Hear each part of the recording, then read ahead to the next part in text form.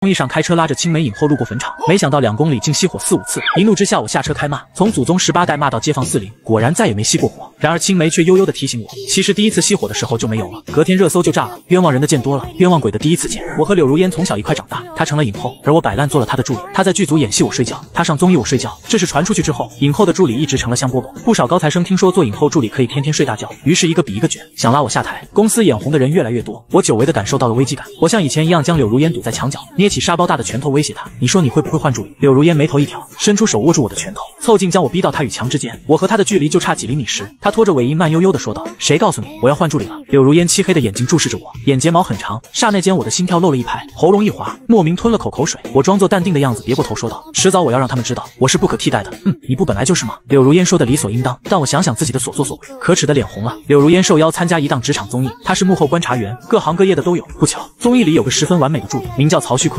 他记得所有总裁的习惯爱好。还能很有效的整理资料文件，做事从不拖泥带水，一看就是职场精英。嘉宾打趣柳如烟有没有想换助理的冲动？柳如烟连思考都没有说，不考虑。我觉得我的助理挺好的。这一期播出后，粉丝纷纷在柳如烟网络底下贴图。第一张是我在剧组睡觉睡得流口水的照片，第二张是柳如烟递给我咖啡，表情无奈又宠溺的喊我醒醒下班了的图片，第三张是柳如烟站着背剧本，我坐着玩手机还龇着牙大笑的图片。粉丝吐槽，这就是你挺好的助理，简直倒反天罡。姐姐听我一句劝，咱咖位已经上去了，是时候换助理了。曹旭坤在节目隐晦表示，要是影后挖他的话，他不介意跳槽。其他人。嗅到了八卦的味道。恒星集团总裁表示，曹旭坤是我弟弟，他也是柳如烟的粉丝。要是真跳槽了，我这个姐姐也只能祝福他了。粉丝苦口婆心劝柳如烟，坤哥精英职场人，又是恒星老总的弟弟，听话，咱辞了这个小助理，邀坤哥。对啊，坤哥成了助理，咱收拾收拾能升咖了。小助理别赖着我们柳如烟了，赶紧走吧。外面吵得腥风血雨，就为了这么一件小事。最后一期恒星老总点名要见柳如烟，平常都是柳如烟开车，我坐副驾吃吃喝喝。但为了不被骂得更狠，我虚的一下闪现到车门前，拉开车门启动车子，摇下车窗朝柳如烟喊道：“上车。”柳如烟凑近摄相机，摄像以为柳。如烟要给节目组提供超绝颜值素材，连眼神都认真了不少，扛着摄像机对准柳如烟，手都不带抖的。下一秒，柳如烟说道：“我家小助理总是这么勤快，你们说说，我不对他好一点，上哪找这么好的小助理？”说完，他进了车，摄像大姐僵住了。这会的时间比较晚了，路过一片坟场，车熄火四五次，我终于怒了，停下车。柳如烟一脸坏了的表情，拉都没拉住我，我下车就骂：“行行行，都别睡了，起来听我说话。我不管你是哪家七大姑还是八大姨、九大婶子、十大叔，去年走的还是今年埋的，我就想问问各位啥意思？真欺负我们柳如烟脾气好是吧？一共二里路熄火四五次，怎么的？地下没王法了？”我不管你是谁，抓紧走！我现在打火，再熄我把你们骨头挖出来炖汤。进车里，柳如烟表情复杂，我以为她害怕，拍了拍她肩膀说道：“别怕，老人说了，遇到这种情况就得破口大骂，不骂可不行。”果然打上火后，后面直到到了目的地也没熄一次火。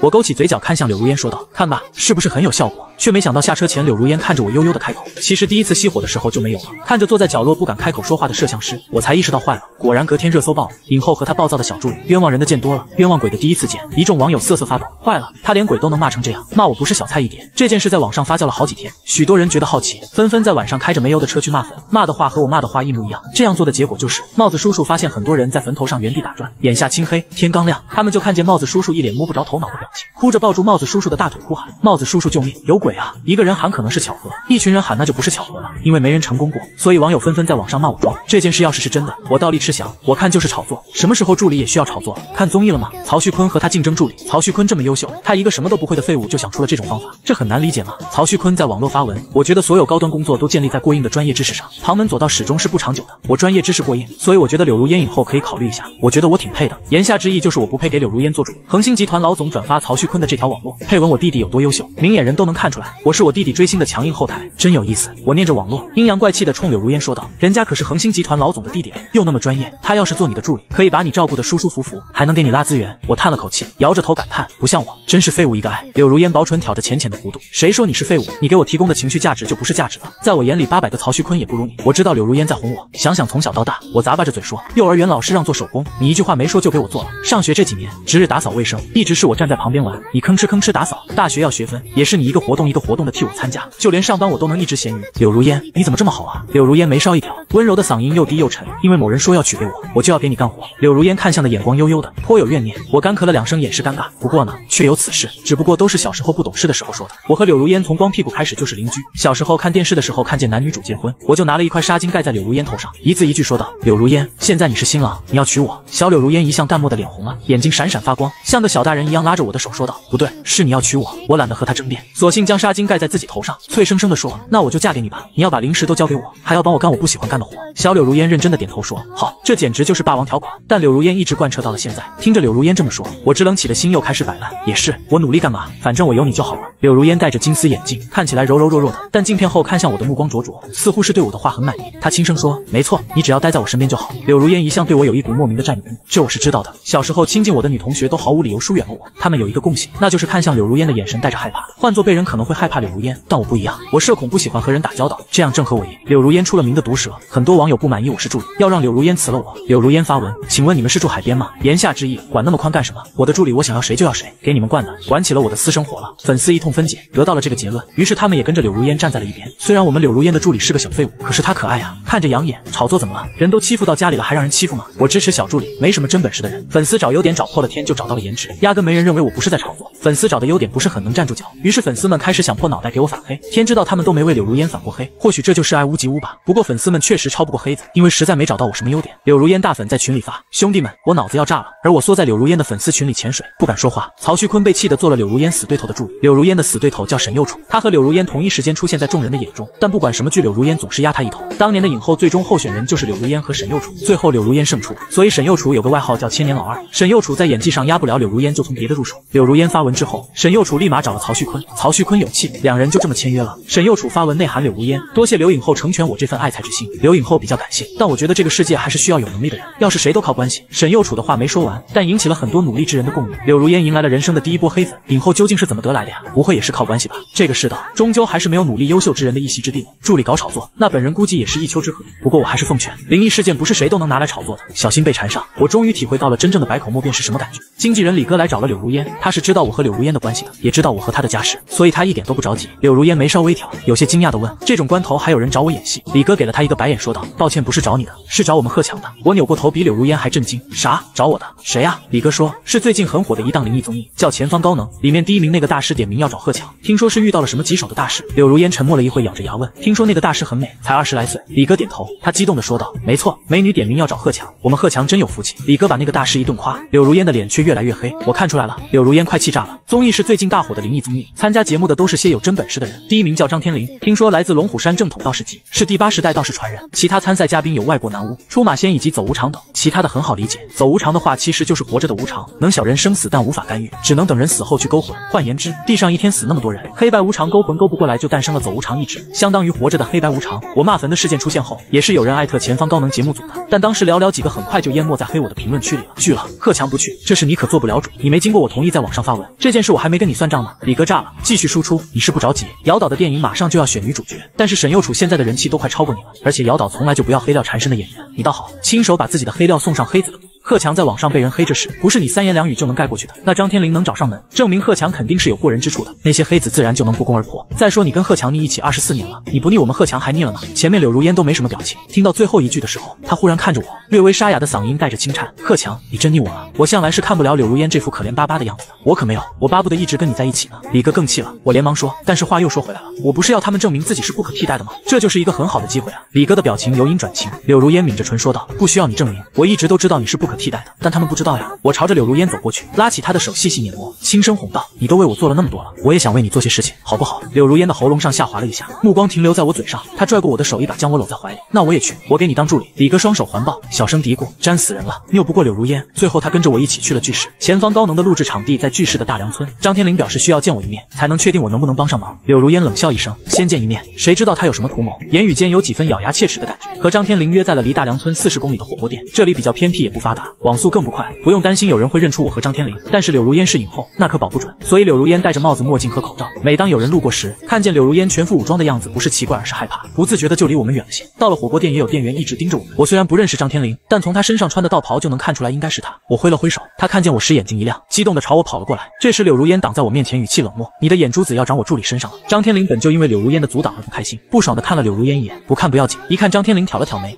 没少撞鬼吧？柳如烟皱着眉，我疑惑的问：“你在说谁啊？柳如烟吗？”张天林坐在对面不否认。接着他继续说道：“在我眼里亮得刺眼。而他，张天林指着柳如烟说道，在我眼里黑的不行，而且他十六岁那年就该死了，能活到现在，证明他遇到了贵人。那贵人就是你的小助理吧？张天林的话给我打开了新世界的大门。我看了一眼柳如烟，却发现他好像本来就知道一样，一点都不惊讶。你有点本事。柳如烟这话算是间接的承认了张天林说的话。见我表情一问，柳如烟说，你还记不记得高二的时候，你在天台找到了我？我点头。平常我总跟柳如烟一块回去，那天我要去外婆家，就没跟柳如烟一块走。走到路上的时候，我总觉得心里闷闷的，好像要失去什么似的。但是我的直觉总是很准，所以我毫不犹豫的调转了方向，回去找柳如烟。那时学校里的老师同学基本都走光了。我去高二六班找柳如烟，六班的门都锁了。按理说这时候我应该走了，但是我就觉得柳如烟还在学校里，于是我把每个地方都找了一遍，女厕所都去了，都没有柳如烟的身影。然后我突然听到了柳如烟的声音，来自天台。我跑上去就看到了柳如烟的衣服，她白净的身上布满了红色的印记。我当时心一凉，还以为柳如烟谈恋爱了。但我往前走了两步，就看见柳如烟一步一步往天台边缘走去，身边一个人都没有。我跑过去一把拽住柳如烟，再有一步她就要掉下去了。我那时慌了，哭着喊：“柳如烟，你怎么了？”柳如烟转过身来，她的嘴唇上都是血，乌发下一双浸润水光的黑眸紧紧地盯着我。没说完，我就觉得另一边有一股吸力在拉着柳如烟往下跳。我当时很生气，不知道柳如烟怎么了，也不知道发生了什么事。然后我就一口咬在了柳如烟下嘴唇上，想让她清醒。我靠过去的一瞬间，那股吸力不见了。柳如烟怔怔地看着我，忽然抱着我加深了这个吻，香精浓滑在缠绕的舌尖摩挲。我的脑中一片空白，直到最后柳如烟放开了我，我才小心翼翼地问柳如烟：“你感觉好点了吗？”柳如烟什么都没说，只紧紧地抱住了我。那天我们抱了一个多小时，我本来心就大，见柳如烟不愿意说，我也就没问了。后面渐渐就忘了，现在又提起，傻子都知道里面大有乾坤。柳如烟握着我的手把玩，然后不在意的说道：“那个男鬼想和我结姻亲，所以他要让我去死。”我眨巴着眼睛，那你的衣服怎么回事？说到这个，柳如烟沉默了一下，在我的再三逼问下，他才无奈的说：“那男鬼化作你的样子引我去天台，还对我霸王硬上弓。”那时我就觉得不对劲了，但逃不脱，我很气。那时的我还没扒过柳如烟的衣服呢。柳如烟精瘦的腰身，春光全让她摸了一遍。柳如烟像是看懂了我的想法，将我的手塞进了衣服里，无奈的说道：“以后只给你摸。”张天林咳了两声，别虐狗。你知道为什么他能救你吗？因为他这种体质在全世界也很难再找出第二个。他同时拥有大功德以及严重的煞气，也就是说他至少有八辈子是大将军，杀了百万个人又救了百万个人。道行不深的鬼碰到他都是避之不及，有胆大的敢闯上他就是灰飞烟灭的结果。大鬼可能能保条命，这就是为什么你骂坟没事，而他们骂坟会被教训。那群鬼心地不坏，否则那群人就该死了。同理，那个男鬼应该是消散了，这也是我为什么会来找他的原因。张天林对着我一阵拍，发回去给老道士们瞧瞧。可你找我具体是要做什么呢？我一向佛系，都不知道自己的体质这么厉害。上菜了，张天林狂吃，在吃的孔隙给我说道：大梁村丢了很多孩子，本来呢这件事也不至于到灵异的地步，可是村里人发现这些孩子都是半夜自己走出去的，而且我发现大梁村有扰乱磁场的东西，做法不灵，要么这里有邪道，要么这里有邪神，不管是哪一种，我们都要先找到大梁村的位置。实话说，节目组找了几天都没找到大梁村的位置，我也不行，去往大梁村的路就像是被故意遮蔽了一样。但如果有你就好办多了，你跟我一起摆阵，威力会大得多。至于柳如烟影后，我建议还是别去了，你这样的容易折在里面。柳如烟抬眸看了张天林一眼，淡淡道：“先管好你自己。”张天林递给我和柳如烟两张符箓，这是追踪符，用时只要点燃就行了。这里不安全，你俩到时候丢了就靠这个找了。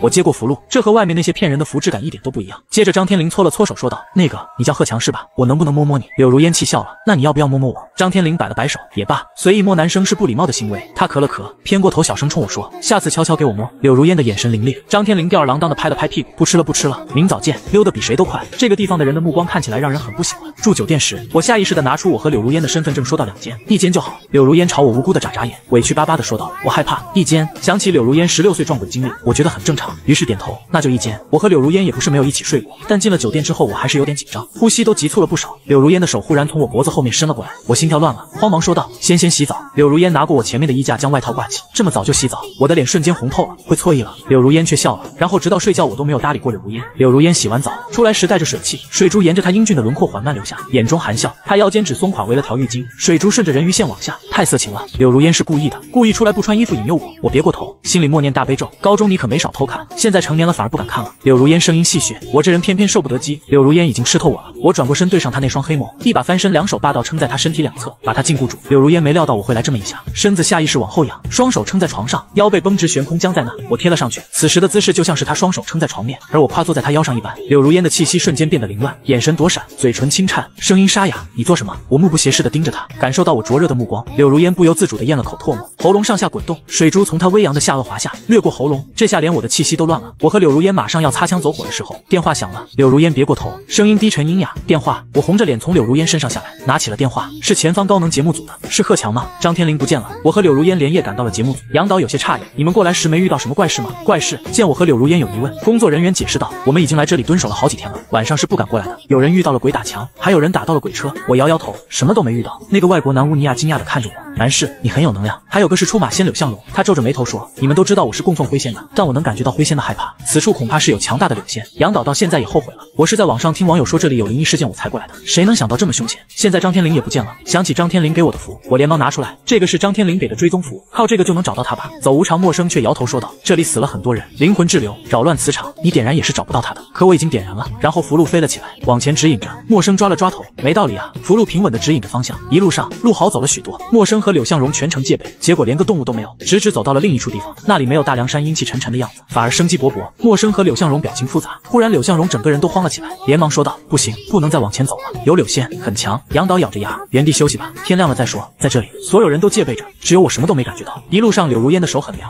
我握着她的手，她的脸色才好点。天刚亮，所有人都要起身去找张天灵时，就见张天灵正往外走，身边还跟着一个漂亮妖艳的男人。男人身若无骨般抱着张天灵的腰，娇声道：“小道士，我背你吗？”男人的声音绵软无骨，听得在场的人瞬间气血上涌。当然，柳如烟并没有，柳向荣也没有。柳向荣要是是猫的话，现在已经狠狠炸毛了。张天林看见我们，脸一红，忙推开男人，结巴道：“你你们怎么来了？”节目组的人眼神幽怨，没好气的说道：“还以为你遭遇什么不测了，原来是美人在怀呀。”男人的目光对准了柳向荣，轻声笑道：“呵，小老鼠。”柳向荣哆哆嗦嗦的往我后面躲，他一个一米八的男人缩在我后面，连头都不敢抬。接着，男人快速朝我这边走过来。柳如烟皱着眉，刚想躲开，没想到男人快速掠过了他，一把抱住了我。将军，奴家好想你。他一米九的个子缩在一米八的我怀里，柳如烟脸色更难看了。他也不上手扒拉他，而是一把将我薅过去，搂在怀里，离他远点。可是他们都忽略了一个重点，上辈子的我是个女的。男人摇摇头，笑着说道：“你可是大梁第一个男将军，那时的我还是小蛇，是你救了我。但等我修成了人形，外面都变天了，难闻的很。索性我又睡了，还不到半个月，那丫头就闯了进来。她回味了一番，不过身材不错，味道也不错。张天林的脸一下就红了，舌头都捋不直。你你别乱说，我伺候你伺候的不好吗？小道士，张天林自知说不过他，咳了咳，转移话题。他救了几个小孩，那些半夜往外走的小孩都是他救的。此时他们就在他的洞穴里，但还有个小孩没救出来。他是姚天的儿子。杨导有些惊讶，姚天是我想的那个姚天吗？没错，就是姚天导演。他儿子是灵体，灵气很高，三年前走丢的。也就是说，大梁村这些孩子根本就不是本村的孩子。陈泽救人时明显受到了质疑，也就是说，可能有人在用他供邪神。张天林看着我嘱咐道：“一会进村后，你把邪神像锤烂，你身上的功德和煞气会让你不受邪神的侵蚀。”接着，张天林警惕地看着柳如烟：“你不准阻止。”张天林一副谁还不知道你的表情。柳如烟摊了摊手，并没有反对，这反而让张天林有点惊讶。张天林说让我和他一起布阵，其实也就是让我给他放放东西。我很怀疑这样的效果真的会好吗？张天林似乎看出了我的想法，解释道：“经过你手的东西威力都会增强，你就当你是增益报好了。”这解释实在是太接地气了。张天林站在正中央念念有词，陈泽笑得眼睛弯弯，小声跟我说：“将军，你说我跟他回家怎么样？”我看了看张天林，虽然他有时候贱兮兮的，但认真起来确实很美，一身道袍松松垮垮，隐隐透出白皙的胸膛。柳如烟捏了一下我的手心，不准看。我轻咳了一声，转过身和陈泽说道：“我觉得可以。”没过一会，周围的雾气散开，真正的通道显露了出来，那是一条林间小道，连分岔路都没有。到村口时，村民的第一反应就是抄家伙。你们是谁？大梁村不欢迎你们，赶紧走。杨导和他们交流，我们是电视台的，来这里录节目。他们看着黑黢黢的摄像头，脸色很难看。此时村长走了出来，说道：“既然是客人，那就进来吧。不过我们这里有怪事频发，你们喝了茶就赶紧走吧。”杨导陪着笑说道：“我们就是来探险的，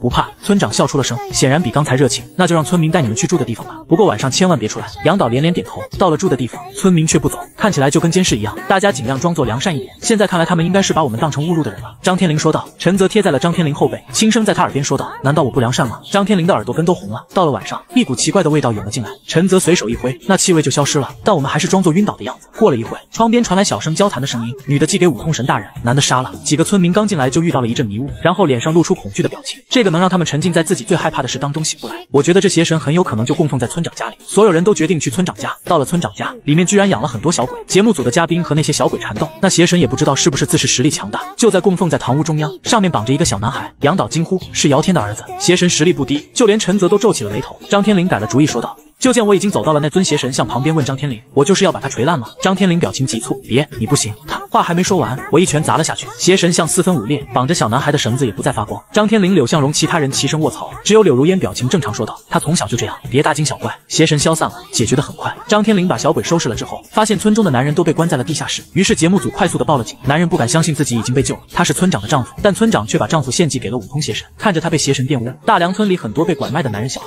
还有旅游误入的游客。走之前，张。天林义正言辞地说：“贺强，你跟我去龙虎山学艺吧。”柳如烟神情淡淡的说话却不留余地，他不去，谁允许你当着我的面挖我的人？张天林看守：“好吧，好吧，那我走了。”走出好几米，他转头看向陈泽，红着脸说：“你不是要跟着我吗？先说好，我很穷的。”陈泽喜笑颜开：“小道士，我可是很好养活的，给点精气就行。这个精气是我想的那种精气吗？”看张天林红透的耳朵，应该是了。我和柳如烟回去的时候，李哥很急，连忙道：“你们没闯祸吧？”柳如烟牵着姚天导演的儿子，示意李哥看。李哥心一惊：“你们从哪拐来的小男孩？”我笑着说道：“李哥，这是姚天导演的儿子。”李哥懵了：“姚天导演的儿子不是在三年前丢了吗？你们找回来的？前方高能，节目组找回来的。那你们赶紧给姚导送去，说不定柳如烟还能赶上选女主角。你们都不知道，这段时间沈幼楚的呼声已经超过了你，再加上他背后有恒星集团，如果再选上姚导的女主角，那他可就稳稳的压你一头了。”到选角地点时，曹旭坤正给沈幼楚递水，看来是刚试镜完。看到柳如烟，沈幼楚眉头一挑：“你怎么来了？”试镜结束了，柳大影后，言语间满是嘲讽。柳如烟连眼神都没给他，曹旭坤则不小心将水泼到了柳如烟身上，他连连道歉：“对不起啊，柳影后，还好你不是镜，不然我就犯大错了。你怎么回事？”沈幼楚假装训斥了一句，两人一唱一和，我打开盖子，同样泼了回去，泼到了沈幼楚裤裤子上。呀，对不起啊，沈老师，这水怎么就往那跑啊？还好盛老师试镜完了，虽然不一定选上，但总比试镜前我犯错好啊。盛老师快去吹吹，不然别人以为沈老师尿裤子了呢。沈幼楚怒视着我，柳如烟挡在我面前，淡淡说道：“试镜完了不走干嘛呢？想走后门。”沈幼楚一甩手，脸色难看的很。走前他留下了一句话：“你歇了心思吧。”柳如烟这句的女主角只能是我。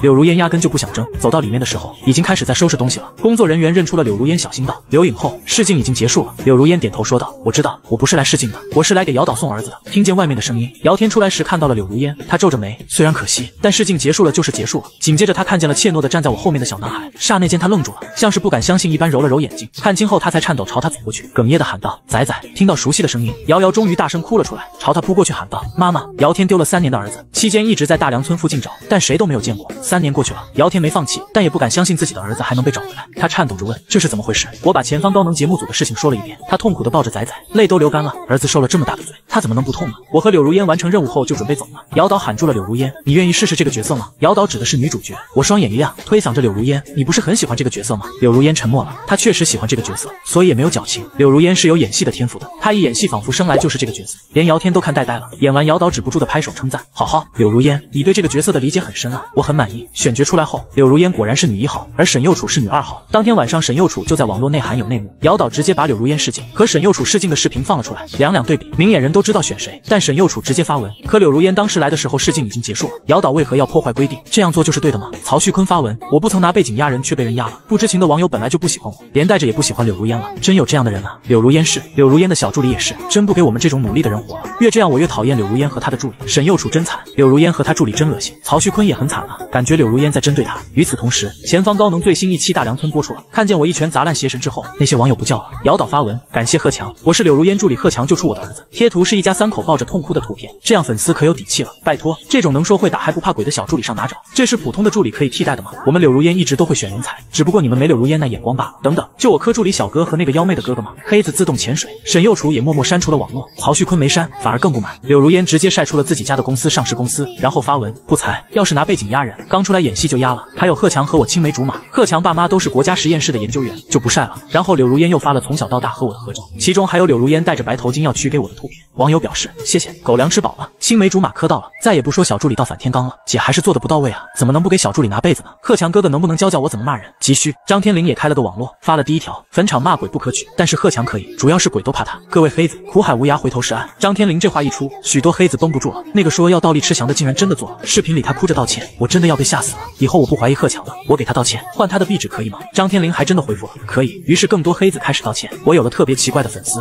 他们拿我镇邪。自从公开后，在剧组柳如烟撵我撵得更过分了，根本不避人。于是我和柳如烟有 CP 粉了，CP 粉还在猛猛扒糖。柳如烟已经和我求完婚，不日就要结婚了，CP 粉猛了，在柳如烟网络底下吐槽，不是姐，你进度太快了，我们前面的糖还没扒完呢。柳如烟特地回复了这条评论，让你们扒干净了算我输。不仅如此，柳如烟还总是混进粉丝群里磕自己的糖，还请教粉丝怎么讨好老公。这件事被 CP 粉头子查出来曝光了，然后所有人都知道了柳如烟是老公母。至于张天林和陈泽两人倒是在一起了，但后面不知道怎么的陈泽不见了。听说张天林满世界的找老公，人都憔悴的没有人样了。这好像就是网友们经常说的追夫火葬场。我希望望陈泽能坚持久一点。张天林这丫头得到的时候不珍惜，失去之后才明白陈泽对她有多重要。总之，我和柳如烟的故事就到这里了。从小陪我到大的人，结了婚也没什么不习惯的，除了需求太大，其他都很好。